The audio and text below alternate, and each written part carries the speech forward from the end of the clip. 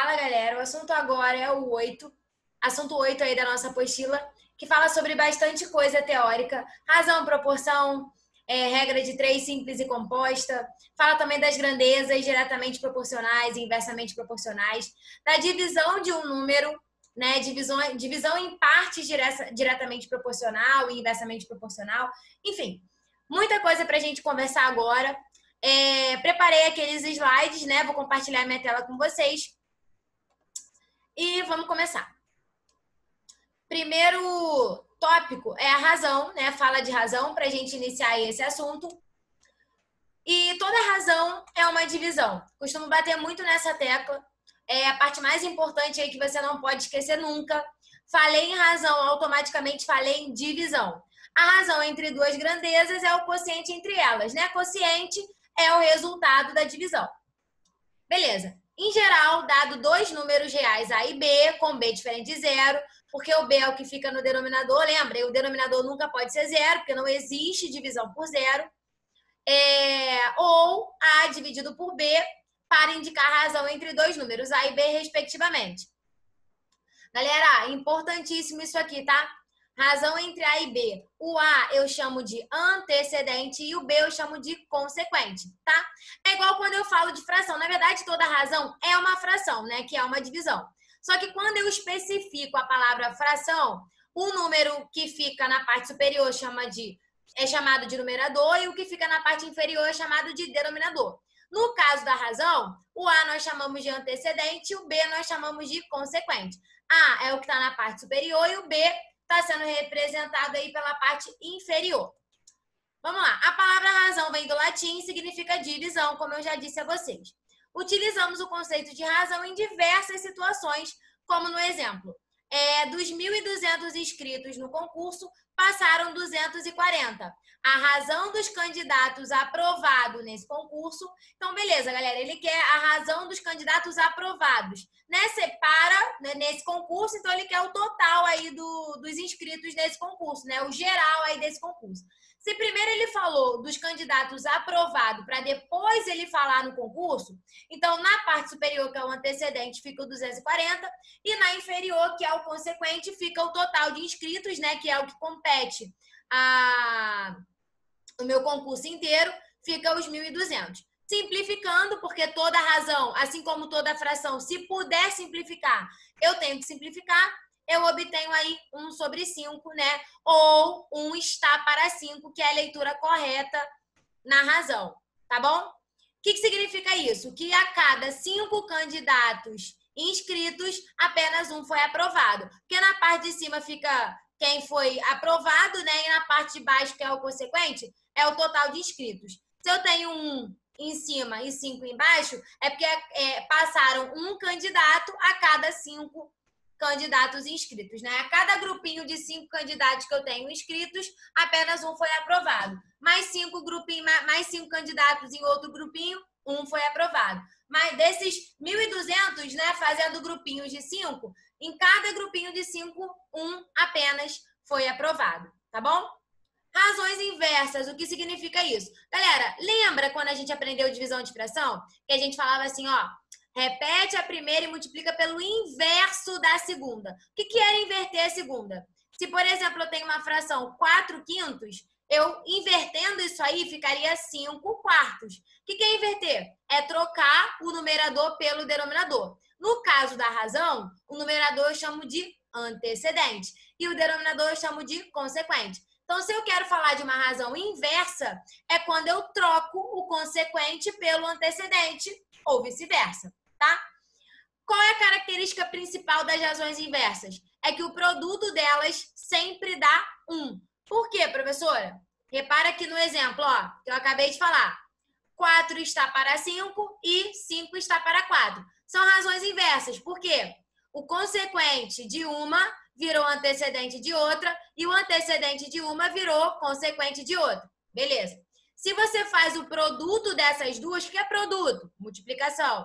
Se você multiplica essas duas, vai dar 20 sobre 20, que é a mesma coisa que 1, beleza? Então, toda, todas as razões que se dizem inversas é quando o produto delas dá 1, né? Porque quando você inverte o antecedente pelo consequente, o resultado final, sempre simplificado, vai dar 1.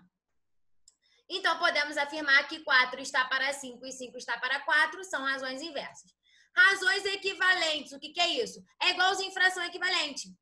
Como é que eu acho uma fração equivalente? Ou como é que eu acho uma razão equivalente? Multiplicando ou dividindo os termos dessa razão por o mesmo número racional, desde que seja diferente de zero, porque não existe divisão por zero. Beleza? Repara nesse caso aqui, ó. 5 está para 6. Se eu multiplicar né, os meus dois termos, tanto de cima quanto de baixo, por 2, eu vou obter uma razão equivalente. Se eu dividir por 2, eu também obtenho uma razão equivalente. Agora, para ser razão equivalente, eu tenho que multiplicar ou dividir em cima e embaixo pelo mesmo número, tá bom? É, essa aqui também eu fiz a mesma coisa, né? 15 está para 35. Eu verifiquei que tanto 15 quanto 35 são números divisíveis por 3, né? Lembra do critério de divisibilidade na aula anterior? O que é um número divisível por 3? É quando a soma dos algarismos dá um número divisível por 3. Então, tanto 15 quanto 35 é divisível por 3. Dividi, simplifiquei e aí achei uma razão equivalente, tá? Razão equivalente é quando eu simplifico a razão, eu acho uma razão equivalente, que é uma razão igual, semelhante, ou quando eu multiplico. Tanto multiplicando quanto dividindo, você acha razões equivalentes. Agora, galera, aqui eu coloquei algumas razões especiais. Isso aí é conteúdo de sétimo ano, talvez vocês já tenham esquecido. Eu coloquei aqui as principais, tá bom? No seu livro, pode até ser que tenha um pouco mais do que isso, mas acho que você vai ver sempre, né? Na maioria dos casos, sempre não, mas na maioria dos casos em problemas, são essas três aqui: escala, velocidade média e densidade demográfica. Por que, que elas são consideradas razões? Porque todas elas falam de fração e fração é uma divisão, tá? E por que, que elas são especiais? Porque você tem que decorar a ordem. Geralmente, a coisa mais importante da razão é que você tem que obedecer a ordem. Se eu falar, por exemplo, qual é a razão da minha idade para a idade da minha mãe, quando eu for montar a razão, primeiro no antecedente tem que vir a minha idade e no consequente tem que vir a idade da minha mãe. Então, eu tenho que obedecer a ordem que foi dada no enunciado. Se eu falei da minha, da, da minha idade primeiro, o antecedente é o meu número, a minha idade. E se depois eu falei da idade da minha mãe, o consequente é a idade dela, tá? Nesse caso, o enunciado não vai te dizer a ordem. Você vai ter que lembrar que toda vez que eu falo de escala, primeiro é o desenho, a distância do desenho sobre, né, dividido pela distância na vida real. Velocidade média. O antecedente é a distância e o consequente é o tempo. Densidade demográfica. O antecedente é o número de habitantes e o consequente é a área daquela, daquele território, tá bom? Então, decorem, né? Tem que saber quando eu falo de escala, quando eu falo de velocidade média ou quando eu falo de densidade demográfica. Os três casos são razões, razões especiais, você tem que lembrar a ordem, tá? E são razões que aparecem muito aí em situações, problemas é, envolvendo outras disciplinas, tá bom? Então, são especiais também por isso. Proporção. O que é uma proporção? Proporção é uma igualdade entre duas razões, tá? Todas as vezes que nós temos razões equivalentes, elas formam uma, uma proporção. Repara no caso que eu coloquei ali, ó. 2 está para 5, assim como 4 está para 3. Lembrando que esse igual aqui, ó, nós lemos da seguinte maneira. 2 está para 5, e aí quando chega na vez do igual, eu leio assim como 4 está para 10. Aí eu leio a próxima razão tá bom?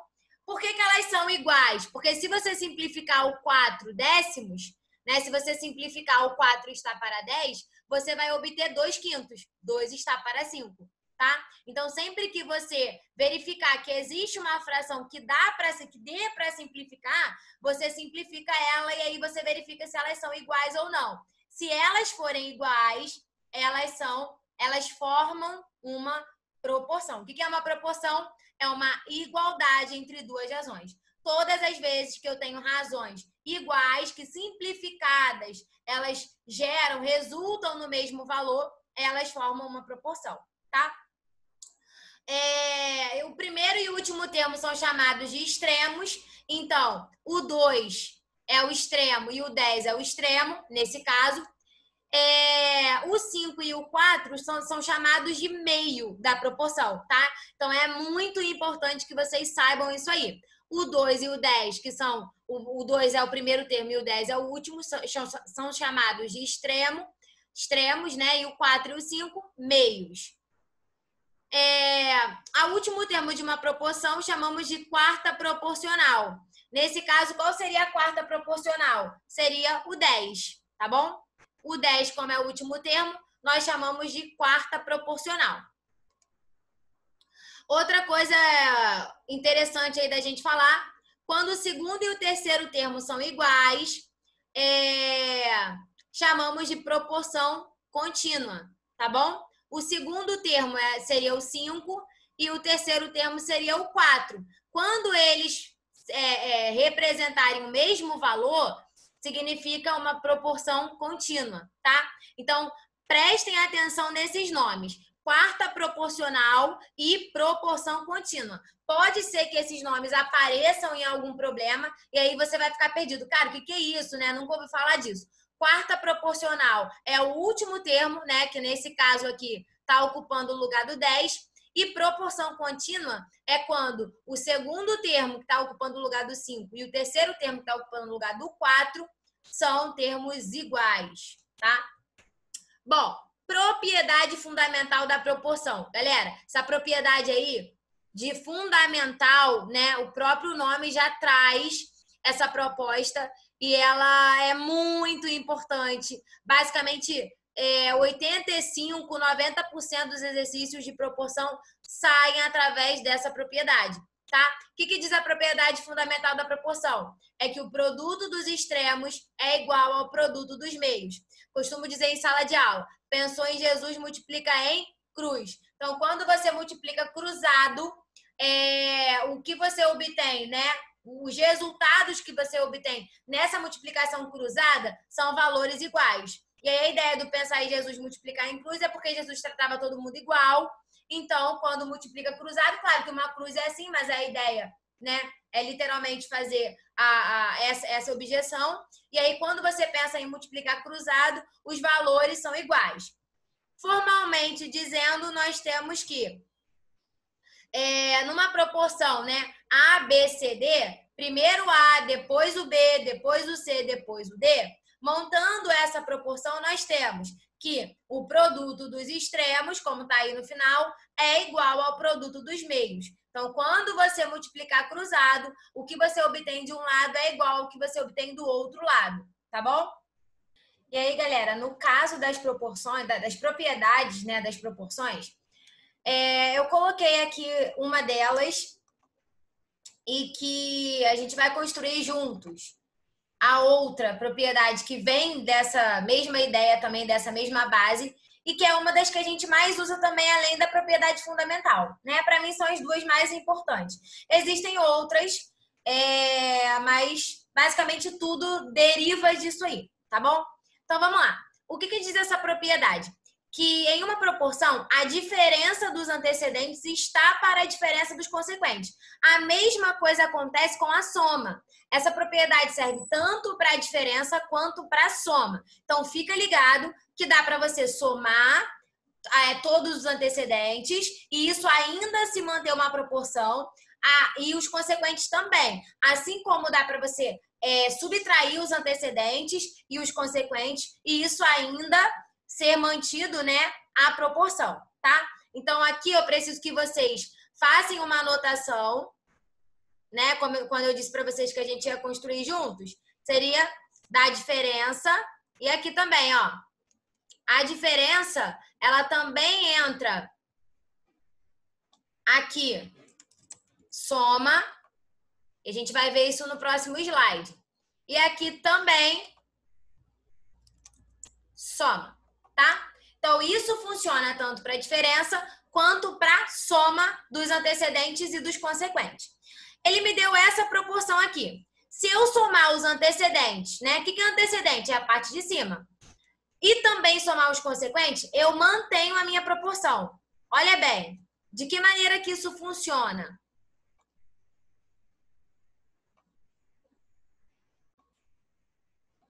Vamos verificar aqui.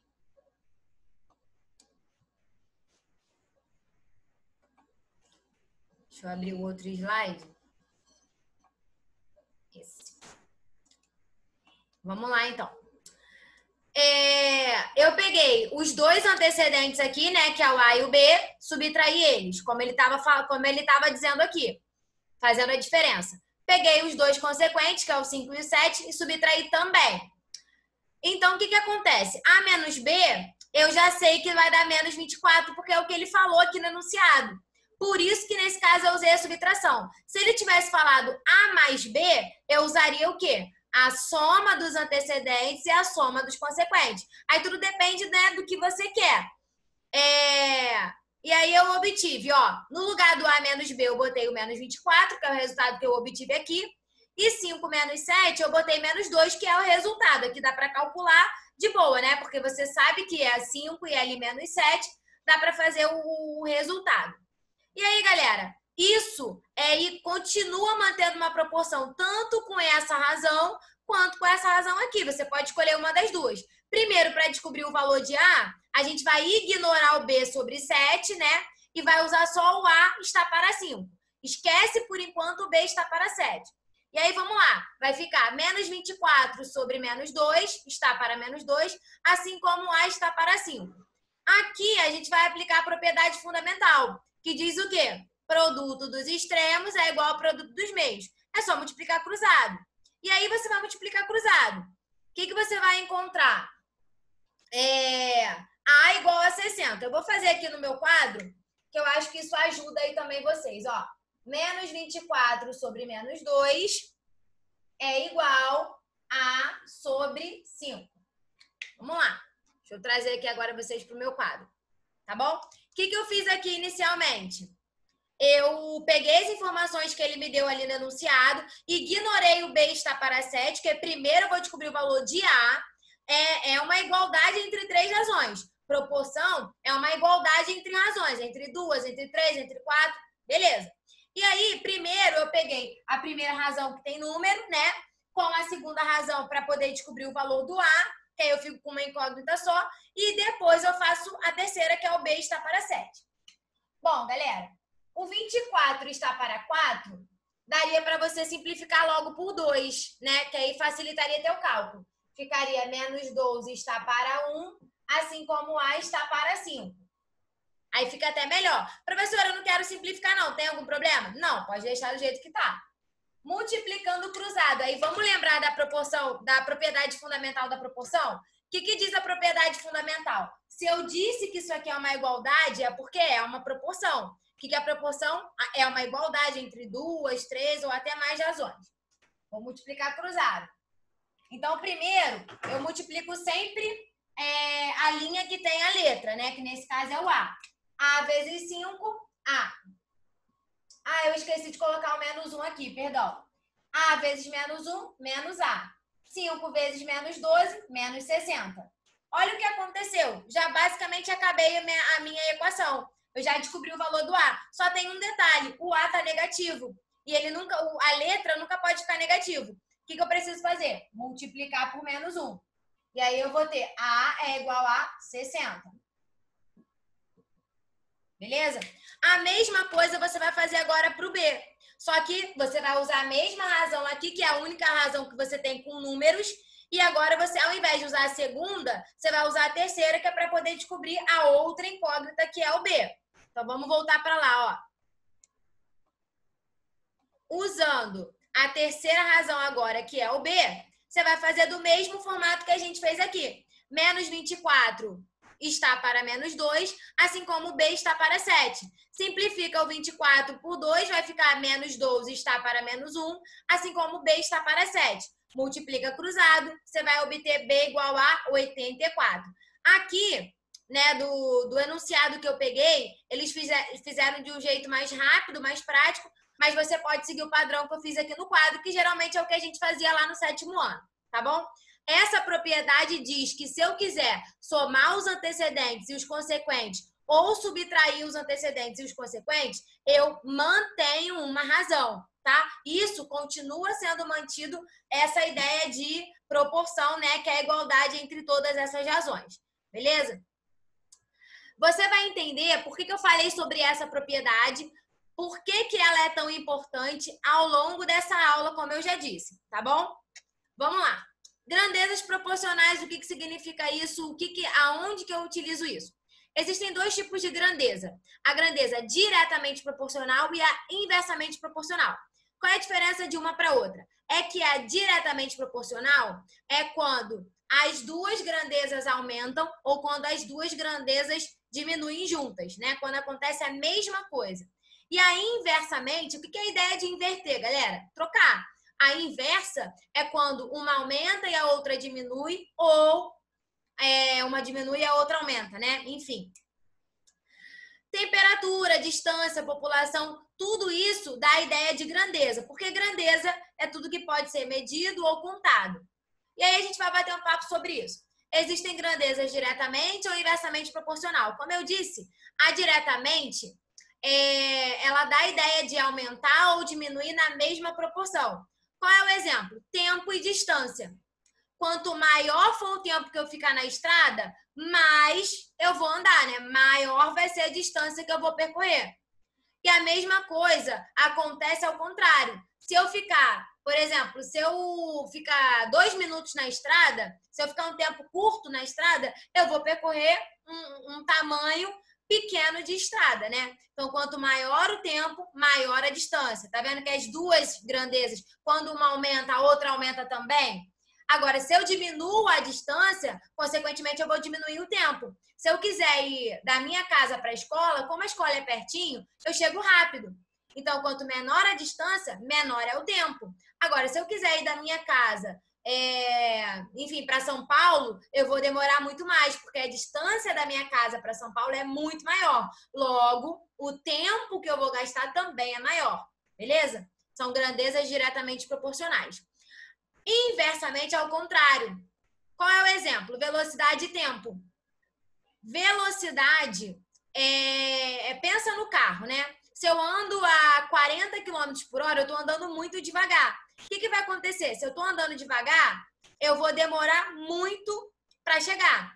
Então, se a minha velocidade é pequena, o tempo que eu levo para chegar na escola é grandão. Por quê? Porque eu estou andando muito devagar. Agora, se eu meto o pé no acelerador, se eu ando, sei lá, a 110 km por hora, eu vou chegar muito rápido na escola. Por quê? Eu vou aumentar a minha velocidade, consequentemente, o tempo vai diminuir eu vou chegar rapidinho, eu vou chegar, sei lá, em 5, 10 minutos na escola. Porque minha velocidade está muito alta. Minha velocidade é 110 e o tempo vai ficar pequenininho, porque eu vou chegar rapidinho na escola. Tá? Então, a ideia de ser diretamente proporcional é quando as duas grandezas aumentam ou as duas diminuem ao mesmo tempo. Acontece a mesma coisa. Inversamente proporcional acontecem, acontecem coisas inversas. Uma aumenta, a outra diminui, uma diminui, a outra aumenta. Foi?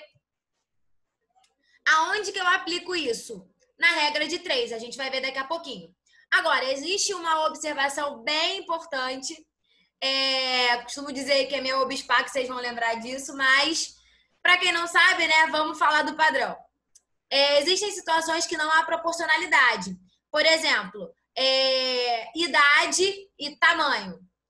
O fato de você é, ser mais velho não significa que você vai ser maior, tá? Então, não é porque hoje eu tenho 10 anos e meço um, um metro e meio, né? Que com 20 anos que eu vou dobrar a minha idade, eu vou dobrar também o meu tamanho.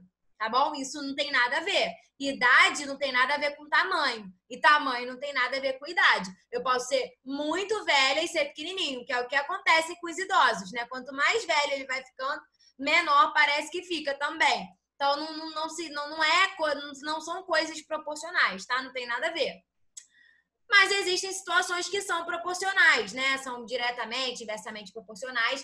Primeiro, a gente vai falar da divisão diretamente inversamente proporcional, para depois falarmos da regra de três, tá? O que é uma divisão diretamente inversamente proporcional? Imagina que o exemplo, ó, eu tenho o número 360 e eu quero dividir esse número em partes diretamente proporcionais a 2, 3 e 5.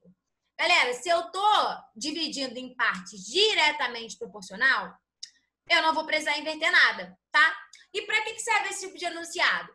Geralmente funciona com herança, é, ou às vezes com quando você entra num negócio, né, e você tem sócios, nem todo mundo tem a mesma porcentagem, porque quando você tem é, 360 e você quer dividir em partes iguais para três pessoas, você pega o 360 e divide por três. Mas e quando você tem um negócio, por exemplo, você tem uma herança e você não quer dividir de maneira igual para os seus três filhos? Você quer que um receba mais, que o outro receba menos e que o terceiro filho receba menos ainda. E aí, como é que você vai fazer essa divisão? É aí que entra essa parte do conteúdo, tá bom? Eu quero pegar o 360 e dividir em partes diretamente proporcional ao número 2, ao número 3 e ao número 5. O que, que eu fiz primeiro? Eu quero dividir o 360 em três partes. Não são partes iguais, mas eu quero dividir em três pedaços. Então, o primeiro pedaço eu chamei de A, primeiro, o segundo pedaço de B e o terceiro pedaço de C. O que, que acontece? Se eu quero dividir cada pedaço proporcional a 2, 3 e 5, eu coloquei o A proporcional a 2, tá vendo? A está para 2, assim como o B vai ter que estar para 3, assim como o C tem que estar para o 5. Como é que eu faço essa conta? Usando a propriedade que eu falei para vocês. Lembra? Se eu quiser adicionar os antecedentes e adicionar os consequentes, eu mantenho a minha proporção. Como aqui na parte anterior, né, do meu slide, eu falei de uma soma, né? Eu falei que o pedaço A mais o pedaço B mais o pedaço C vai ter que dar o 360, que é o número inteiro que eu quero dividir. O que, que eu pensei? Vou usar aquela propriedade. Peguei e somei os três antecedentes e somei os três consequentes. A soma dos três antecedentes vai dar 360, que é o que a gente tinha falado lá no slide anterior. E a soma dos três consequentes dá para a gente resolver porque é número, né? Não é letra. Quando é letra que a gente fica na dúvida porque a gente não sabe o valor da letra. Mas quando é número, é só literalmente você somar. 2 mais 3 mais 5, 10. Sendo que 360 sobre 10 dá para simplificar, né? Vai dar 36 sobre 1, que é a mesma coisa que 36. O que, que eu faço agora? Cada parte da minha razão vai ser igualada a 36, né? Tudo isso aqui é uma igualdade. Todos esses pedaços são iguais. E aí, vou mostrar para vocês mais ou menos a proposta, tá? A está para 2, assim como B está para 3, assim como C está para 5 isso é igual ao somatório que a gente já tinha achado ali, né? Que é 36 está para 1. Na verdade, era 360 está para 10, só que simplificando, 36 está para 1. Aí, o que, que vai acontecer, galera? Preste atenção aqui, ó. Até melhorar aqui o foco do quadro. Galera, tudo isso é uma igualdade. São coisas todas iguais.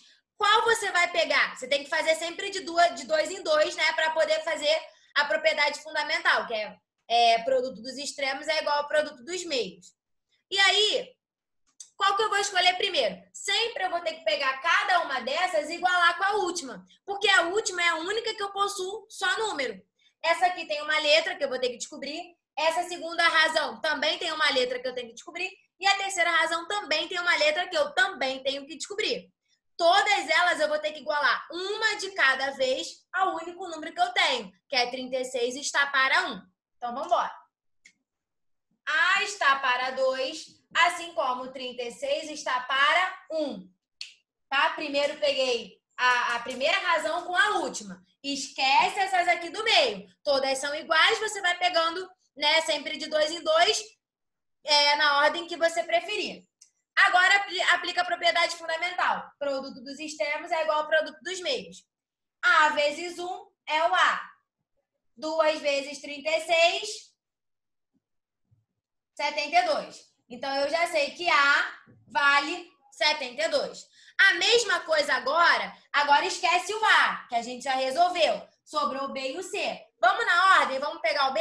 o B e vamos igualar com quem? Com 36 está para 1. Por quê, professor? Porque é o único número que eu tenho, tá? A minha a menina dos meus olhos está aqui, no meu número, porque é ele que vai fazer eu descobrir os outros valores que estão aparecendo aqui como incógnita. Então vamos primeiro agora aqui, ó. B está para 3, assim como 36 está para 1. Mesma coisa. produto dos extremos é igual ao produto dos meios, propriedade fundamental. B vezes 1, B. 36 vezes 3, 108. Pronto. Achei o A, achei o B. Agora, para fechar, falta achar o C. Mesma ideia. C está para 5, assim como 36 está para 1. Multiplica cruzado, né? Porque produto dos extremos é igual ao produto dos meios. Essa é a propriedade fundamental. Quase todas as questões você vai ter que acabar utilizando ou pensando nela, tá bom? E aí vamos fazer. C vezes 1, C. 5 vezes 36, 180. É... Fechamos aqui. Então, agora nós descobrimos o valor de A, o valor de B e descobrimos também o valor de C. Lembra lá no começo que a gente tinha dito que as três partes divididas daria 360, né? Que era o total que eu queria fazer a divisão. Eu queria pegar o 360 e dividir em três partes. Uma parte era proporcional a 2, uma parte era proporcional a 3, uma parte era proporcional a 5. O que, que eu fiz? Como eu quero dividir em três partes, eu peguei três letras quaisquer do alfabeto. A, B e C. A soma dessas três partes tem que dar o total, que era o 360. Então, eu peguei A mais B mais C tem que dar 360. Show! Se eu estou envolvendo os meus três antecedentes numa soma, o que, que eu vou lembrar? Da propriedade. A propriedade me diz que eu posso somar todos os antecedentes e somar todos os consequentes, que eu continuo mantendo uma proporção. Então, o que, que eu fiz? Somei os antecedentes, que deu 360. Somei, né? Como é que eu sei que dava 360? Porque foi o, dado da questão lá no começo. A mais B mais C é igual a 360. Agora, galera, a gente vai para o exemplo é, das divisões inversamente proporcionais, tá bom? E aí, o exemplo diz o seguinte: é, eu quero dividir o número 496 em partes inversamente proporcionais aos números 2, 3 e 5. A proposta é a mesma que a gente utilizou no exemplo anterior, né? A gente vai pegar o 496 e vai dividi-lo é, em três partes. Só que não são partes iguais, porque se fossem partes iguais, era muito simples. São três números, né? Como se fossem três pessoas: pessoa 2, pessoa 3, pessoa 5. Pega e divide esse número por três, né? Porque são três é, pessoas ali que eu vou dividir. Só que o caso é diferente, eu não quero dividir de maneira igual. Tanto é que eu falei que eu quero dividir de maneira inversamente proporcional, número 2, 3 e 5. Se fosse de maneira igual, era só dividir pelo número que eu, que eu quisesse. Como não é de maneira igual, primeiro eu preciso saber se é diretamente ou inversamente. Se for diretamente, não precisa trocar nada. Se for inversamente, tem que inverter. Como? Antes de qualquer coisa, você vai colocar a mais B mais C igual a 496. Por quê? Eu vou pegar esse número e vou dividir em três partes.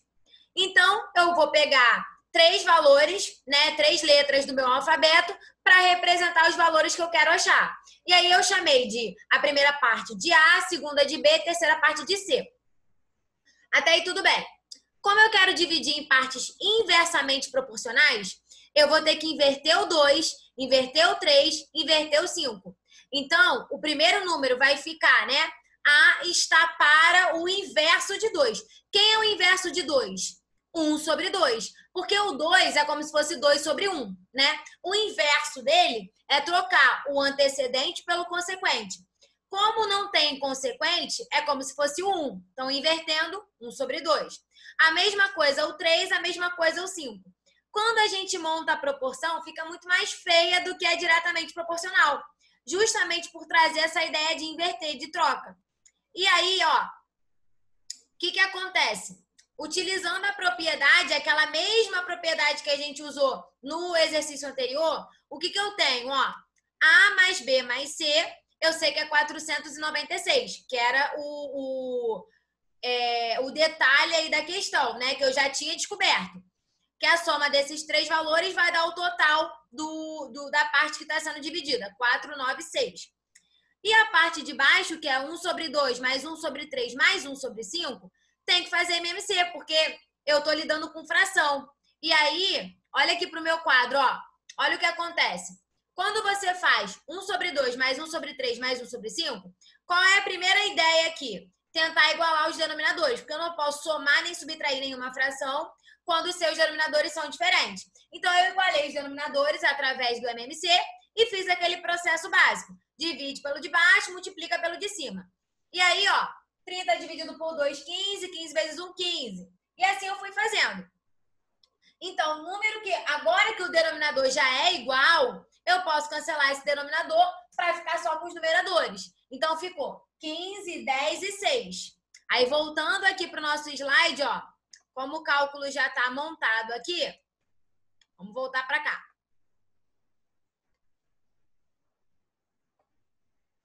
E aí eu tenho, ó, A mais B mais C é igual a 496. 15 mais 10 mais 6, que são os números que nós achamos até aqui no quadro, é igual a 31. 496 sobre 31 dá para simplificar ou dá apenas para poder dividir direto. Vai dar um valor exato, que é o 16. Então, o que, que a gente obtém aí da proporção? Que A sobre 15, vamos voltar aqui para o quadro, ó. A sobre 15, que é o primeiro, depois que a gente tira o, os denominadores, vai ficar 15, 10 e 6. Vai ficar A sobre 15 é igual a B sobre o segundo número, que é o 10, que é igual a C sobre o terceiro número, que é igual a 6 sobre o terceiro número, que é o C. Isso aqui é igual a 496, né? Que foi o que a gente tinha falado, que é o somatório daquilo ali, sobre o 31. Aqui eu coloquei ao contrário, né? Perdão. É C sobre 6.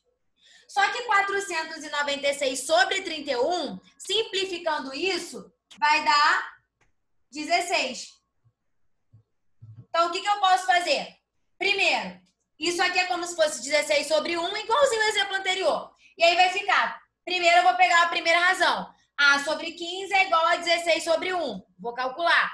Depois, B sobre 10 igual a 16 sobre 1, né? B está para 10, assim como 16 está para 1. C está para 6, assim como 16 está para 1. O processo vai ser exatamente igual ao que nós tínhamos feito no exemplo anterior. E aí, quais são os resultados que a gente vai achar, né? A única diferença é que antes, ao invés de você fazer direto como a gente fez o outro, antes disso você tem que fazer o EMC. Então, o inversamente proporcional dá um pouco mais de trabalho, justamente por essa, por essa proposta de você ter que inverter os valores. E aí, quando você for calcular um por um, você vai ter que A igual a 240, B igual a 160, C igual a 96. Se você somar esses três valores, vai dar o valor total que ele tinha inicialmente para poder dividir os 496. Tá bom, galera? Para a gente fechar aí o nosso módulo, é... nós vamos falar agora sobre regra de três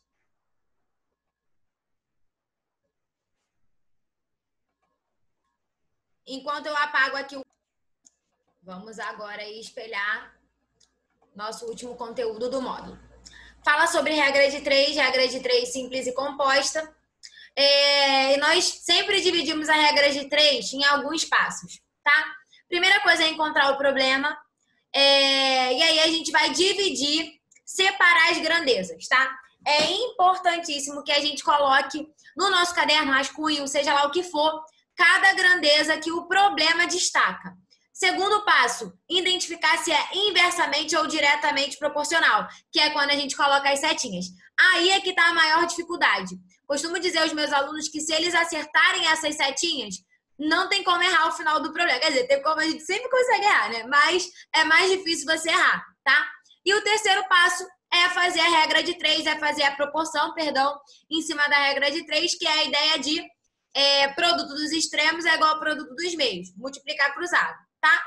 Por final, por fim, você acha a solução do seu problema. Vamos lá. Quando a regra de três é simples, nós vamos separar a, em colunas né, as grandezas do mesmo tipo. E quando ela é composta também. Quando a diferença da simples para composta é que a simples só tem duas grandezas. Então é muito mais tranquilo de você comparar. A composta tem mais de duas. Pode ter três grandezas, quatro, cinco, seis e assim vai. Segundo passo, determinar se as grandezas são diretamente ou inversamente proporcionais, que é aquela questão das setas. E o terceiro passo é organizar a proporção e realizar a multiplicação cruzada dos valores, como a gente já combinou também, tá? Vamos para o exemplo. Primeiro exemplo fala de regra de três simples, o segundo, regra de três composta. A regra de três simples é quando eu tenho apenas duas grandezas. Galera, a seta não significa que o número aumenta ou que o número diminui. Pelo amor de Deus, se você tem isso em mente, tira isso agora, não tem nada a ver. A seta indica quando as duas setas estão para cima, significa que as grandezas são diretamente proporcionais, tá? Porque quando as duas setas estão na mesma direção, o que é ser diretamente proporcional?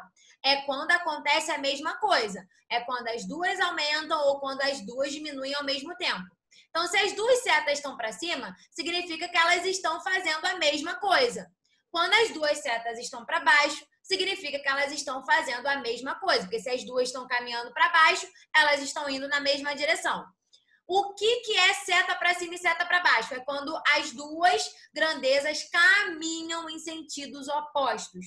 Tudo bem? Então, a seta indica se ela é diretamente ou inversamente proporcional. Não significa dizer que a grandeza aumenta ou que a grandeza diminui. Tome esse cuidado porque a confusão parte daí. Tudo bem? Então vamos lá. É...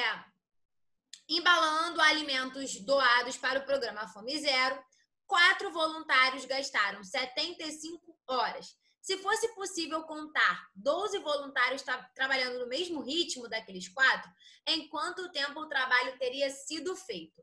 Bom, se eles estão trabalhando no mesmo ritmo, significa que isso é uma grandeza proporcional. Só que a gente tem que saber se ela é diretamente proporcional ou se ela é inversa.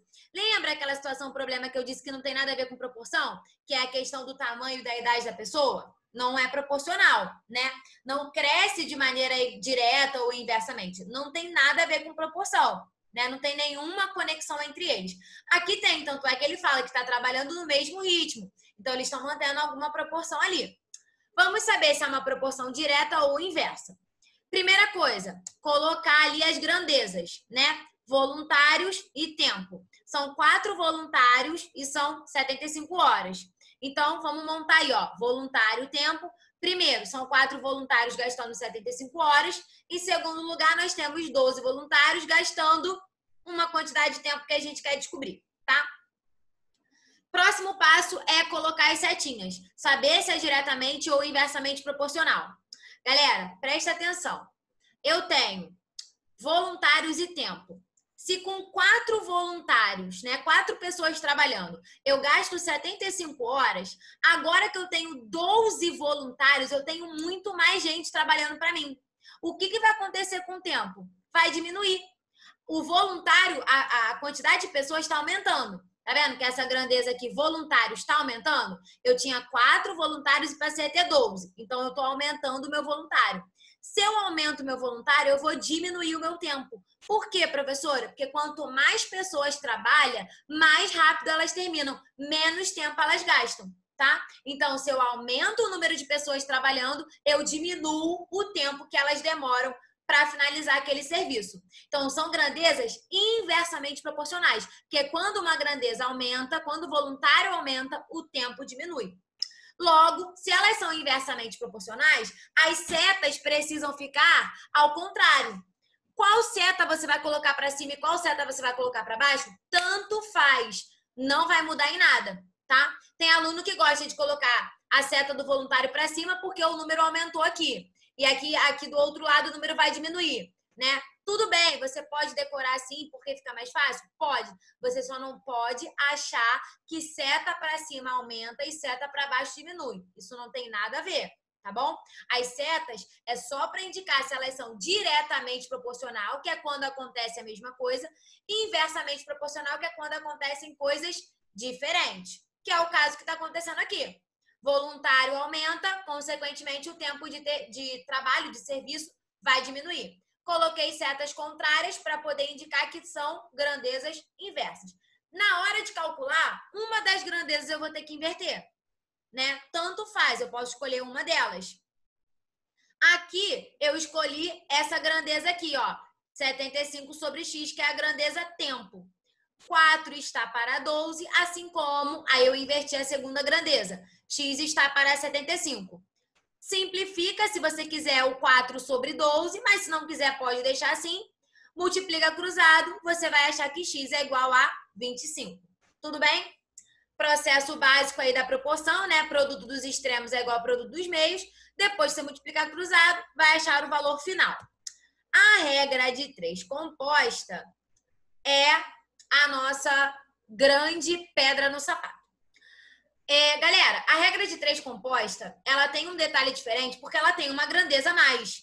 Então, você não pode comparar de uma maneira tão simples e rápida quanto a gente faz na, na regra de três simples. Por isso o nome simples.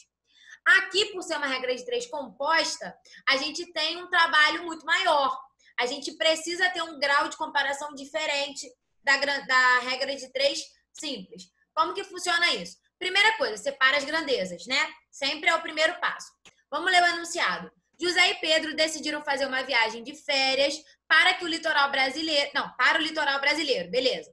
José, que já havia feito esse percurso, afirmou que rodando uma média de 8 horas por dia, a uma velocidade média de 60 km por hora, ele tinha levado seis dias para completar isso aí. Então, daqui eu já consigo perceber as grandezas.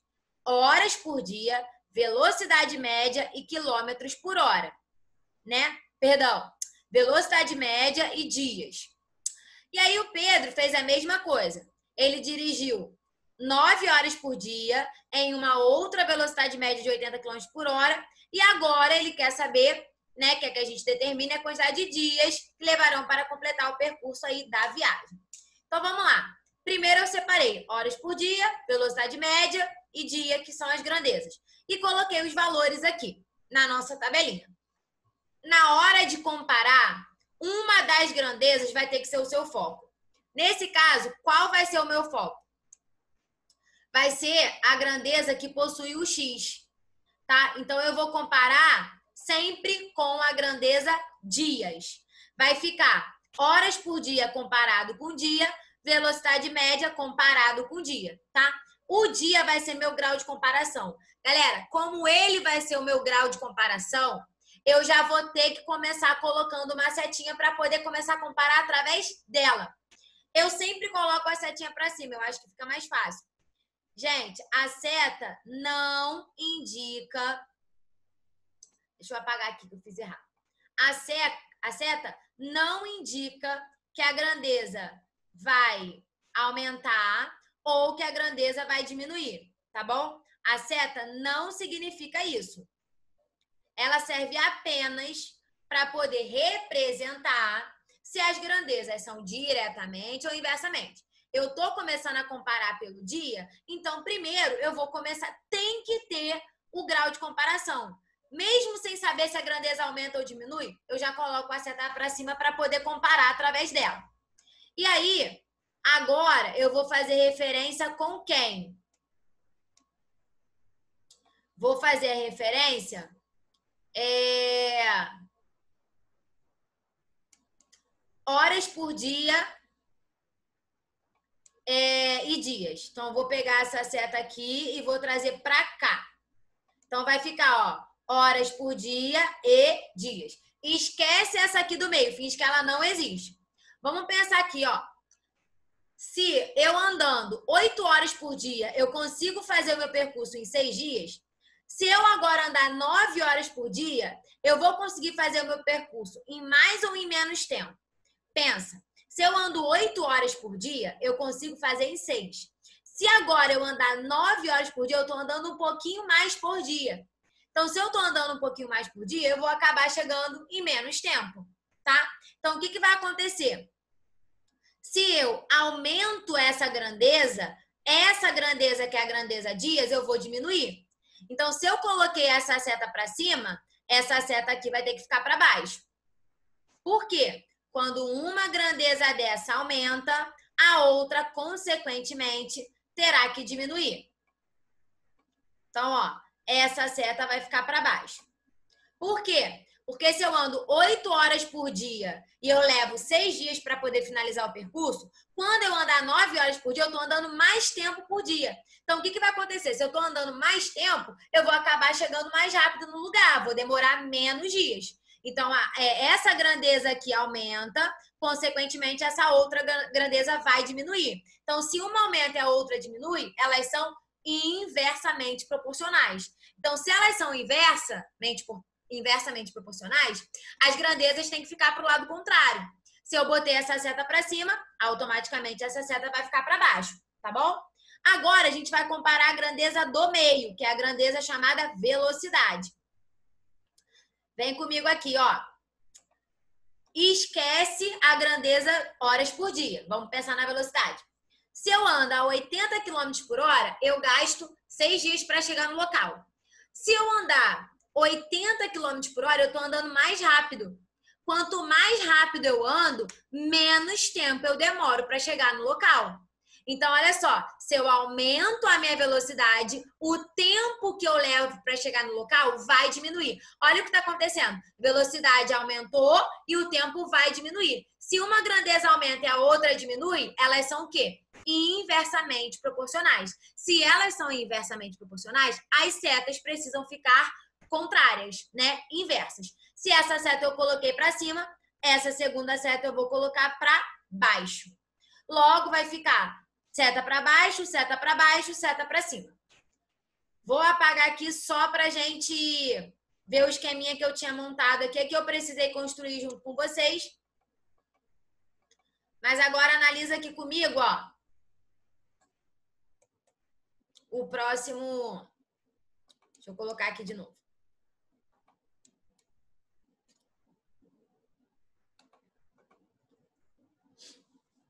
Bom, então, uma grandeza ficou com a seta para cima e as outras duas ficaram com a seta para baixo, indicando serem inversas, serem inversamente proporcionais. Bom, as setas que estão para baixo, como duas setas estão em sentidos contrários, você vai ter que inverter dois lados. É, como que eu faria isso, tá? Vamos lá. Primeiro, na montagem, você coloca quem tem x separado. Então, ficaria 6 está para x, assim como as outras duas grandezas que não possuem o x vão ser multiplicadas, né? Uma pela outra. Só que eu tenho que inverter, lembra? Porque a seta tá para baixo, né? Então, é, como as duas setas estão indicando ser inversamente proporcional, eu vou ter que inverter. Então, 8 sobre 9, vou colocar 9 sobre 8. Vezes a mesma coisa ali. É 60 sobre 80, vou inverter, vai ficar 80 sobre 60 que, que eu faria? O que, que eu faria aqui nessa situação? Eu cortaria o zero, né? Como se fosse uma simplificação por, por 10. E aí, tiraria o zero. Aí ficaria 6 está para x, assim como 9 está para 8, vezes 8 está para 6. Tá? Ainda daria para simplificar mais. Daria para simplificar esse 8 com esse 8. Daria para simplificar esses dois. Como eles estão na diagonal, daria para fazer essa simplificação. Ai, professora, eu não gosto de fazer simplificação, eu prefiro multiplicar normal. Beleza, sem problema. Mas aqui dá para simplificar por 8 e aqui também ficaria 1 sobre 1, que aí facilitaria seu cálculo, né? 6 está para x, assim como 9 está para 1 vezes 1 está para 6, né? Porque eu simplifiquei esses dois Sempre quando tem uma multiplicação, você pode é, simplificar assim na diagonal, tá? Pode simplificar na horizontal e na diagonal também. Só não pode simplificar na vertical. Agora não tem mais nada para simplificar, vamos. Ah, tem o 9 com 6. Daria para simplificar pelo 3, né? Mas eu não vou simplificar aqui não, porque agora os números já estão bem pequenos, dá para fazer. 6 está para x, assim como 9 vezes 1, 9. Uma vezes 6, 6. Agora fica mais fácil, dá para simplificar o 9 pelo 6, né? Fica até melhor de enxergar. 9 dá para simplificar por 3 e aqui também dá para simplificar por 3. 9 por 3 vai dar 3, 6 por 3 vai dar 2. Vou continuar aqui nesse cantinho, ó. Então, eu vou ficar 6 está para x, assim como 3 está para 2. Agora ficou bem tranquilo a conta, né? Ficou bem, os números ficaram bem pequenos, bem menores do que estavam antes. É, quando eu tenho uma igualdade entre duas razões, pode aplicar a propriedade fundamental, né? Que é multiplicar cruzado. E teremos que 3 vezes x, 3x, 2 vezes 6, 12. 3x é igual a 12, o 3 está multiplicando pelo x, passa para lá dividindo. 12 dividido por 3, x é igual a 4. 4 é o resultado final da minha regra de 3, tá bom? Professora, eu odeio ficar simplificando, ficar cortando zero, não gosto, não consigo. Não tem problema, multiplica normal. Você tem que lembrar que o número que está com x tem que ficar isolado. E ele sempre vai ser igual à multiplicação das outras duas grandezas que sobrarem. Lembrando que se você coloca a seta invertida, que foi o caso que a gente colocou duas setas invertidas, né, para indicar que duas grandezas eram inversamente proporcionais, então você tem que inverter essas duas grandezas, tá bom? Então não se esqueçam disso. É, façam a troca e multipliquem, né? Primeiro eu fiz a multiplicação, repeti a grandeza que estava isolada, fiz a multiplicação. Depois que eu fiz a multiplicação, apliquei a propriedade fundamental que é, é pensou Jesus multiplica em cruz, ou produto dos extremos é igual ao produto dos meios. Tá, galera? É isso. Espero que vocês tenham gostado aí da aula. É, com isso eu finalizei, né? Gravei esses três módulos aí para vocês. Qualquer problema podem me perguntar, entrar em contato comigo. Aproveitem, né? Mais uma vez eu falo, aproveitem a aula ao vivo. É muito importante a troca aí com, com o professor de vocês é, online ali na hora, né? É, e também Aproveitem as aulas gravadas, porque também são fazem parte do processo, são importantes. E é isso. Um beijo, tchau, tchau, até logo.